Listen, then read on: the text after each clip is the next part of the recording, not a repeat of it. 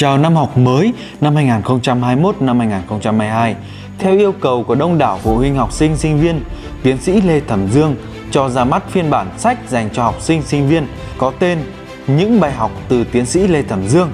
Nhà báo Nguyễn Tuấn Anh, người chuyên chấp bút biên soạn và biên tập các cuốn sách của tiến sĩ Lê Thẩm Dương, cho biết nội dung những bài học từ tiến sĩ Lê Thẩm Dương được chọn lọc phù hợp với đối tượng học sinh, sinh viên và được trình bày theo phong cách trẻ trung, Ngoài những kiến thức kinh điển mang thương hiệu của tiến sĩ Lê Thẩm Dương, phiên bản sách này có nhiều bài học được tác giả rút ra từ những tháng ngày sống trong tâm dịch Covid-19.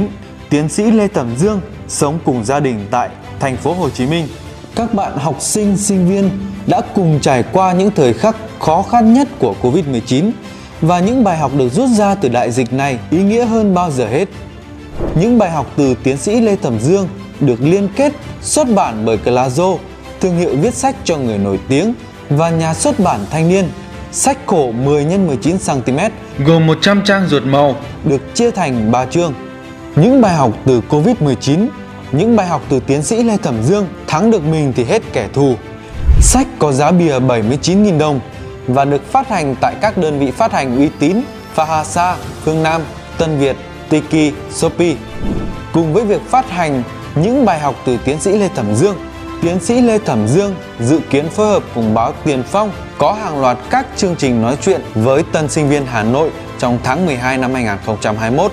Tiến sĩ Lê Thẩm Dương là diễn giả, chuyên gia kinh tế hàng đầu Việt Nam. Ông nguyên là trưởng khoa quản trị kinh doanh và trưởng khoa tài chính Đại học Ngân hàng Thành phố Hồ Chí Minh.